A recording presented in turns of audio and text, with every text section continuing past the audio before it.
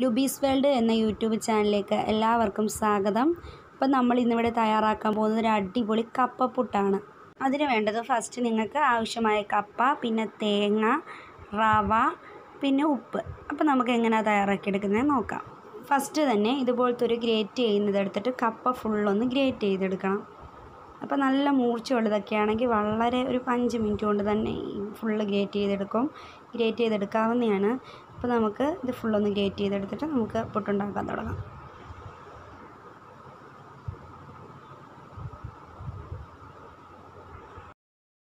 അപ്പോൾ ഇത് full great ചെയ്ത് വന്നിരിക്കുന്നു. ഇനി ഇതിലോട്ട് നമുക്ക് നല്ല പ പച്ച വെള്ളം ഒഴിച്ചു കൊടുത്തിട്ട് ഒരു മൂന്ന് പ്രാവശ്യം ഇങ്ങനെ പച്ച വെള്ളം ഒഴിച്ചു കൊടുത്തിട്ട് പിഴിഞ്ഞെടുക്കണം. കുറച്ച് ഉപ്പും കൂടി ഇട്ടിട്ട് പിഴിഞ്ഞ് പിഴിഞ്ഞ് അതിലെ കട്ടൊക്കെ കളയണം. കപ്പയുടെ കട്ടെന്ന് പറയത്തില്ലേ? അപ്പോൾ അതെല്ലാം ഒന്ന് അതിൽ നിന്ന് മാറ്റണം. അപ്പോൾ ഇങ്ങനെ പിഴിഞ്ഞ് തന്നെ തന്നെ അതിൽ നിന്ന് മാറ്റണം. അപ്പോൾ നമുക്കത് ഫുള്ള് പിഴിഞ്ഞ് നന്നായിട്ട് വേറൊരു പാത്രത്തിലേക്ക് മാറ്റാം. എത്ര പ്രാവശ്യം അതിൽ നിന്ന് അതിന്റെ വെള്ളം കളയാവോ അത്രയും പ്രാവശ്യം അതിൽ നിന്ന് വെള്ളം കളയണം. എന്നാലേ നമ്മുടെ പുട്ട് നല്ല ടേസ്റ്റ് ആയിട്ടിരിക്കത്തുള്ളൂ. അപ്പോൾ നമുക്കിനി ഇത് ഫുള്ള് അതുപോലെ ഒന്ന് വെള്ളമൊന്ന് പിഴിഞ്ഞെടുത്ത് വീണ്ടും മാറ്റണം. ഇപ്പോൾ ഇവിടെ നമ്മുടെ പുട്ടിന്റെ ഇതൊക്കെ റെഡിയായിരിക്കുന്നു വെള്ള കട്ടെല്ലാം പോയി. അതിൽ ആ വെള്ള നനവും പോയി. ഇനി ഒരു പുട്ട് നനയ്ക്കാൻ ആവശ്യമായ വെള്ളം മാത്രമേ അതിലുള്ളൂ. അപ്പം അതിനായിട്ട് ഫസ്റ്റ് അതിലോട്ട് കുറച്ച് ഒരു രണ്ട് ടേബിൾ സ്പൂണോളം റവ ഇട്ട് കൊടുക്കണം.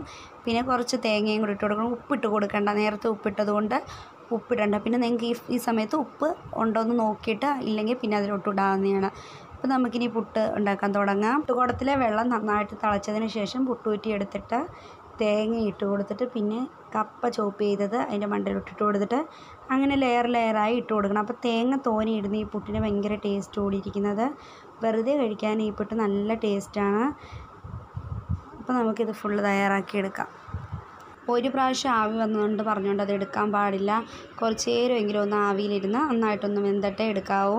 അപ്പോൾ നമ്മുടെ പുട്ട് ഒരെണ്ണം ഇവിടെ റെഡി ആയിരിക്കുന്നു. അപ്പോൾ ഇനി ബാക്കിയുള്ളതും കൂടെ അതുപോലെ നമുക്ക് തയ്യാറാക്കി എടുക്കാം. അപ്പോൾ നമ്മുടെ പുട്ട് ഫുള്ള് ഇവിടെ റെഡിയായി. അപ്പം നല്ല ടേസ്റ്റാണ്. ഇത് വെറുതെ കഴിക്കാനായിട്ട് ഒന്നുകൂടെ ടേസ്റ്റ്. പിന്നെ പപ്പടത്തിന്റെ കൂടെ നല്ല കോമ്പിനേഷൻ ആ കറിയുടെ കൂടെ നല്ലതാണ് അപ്പോൾ ഇങ്ങനെ തയ്യാറാക്കാത്തവരുണ്ടെങ്കിൽ ഉറപ്പായിട്ടും ഇങ്ങനെ ഒന്ന് തയ്യാറാക്കി നോക്കണം. പിന്നെ എന്റെ ചാനൽ ആദ്യമായിട്ട് കാണുന്ന ആരെങ്കിലും ഉണ്ടെങ്കിൽ ഒന്ന് സബ്സ്ക്രൈബ് ചെയ്തേക്കണേ.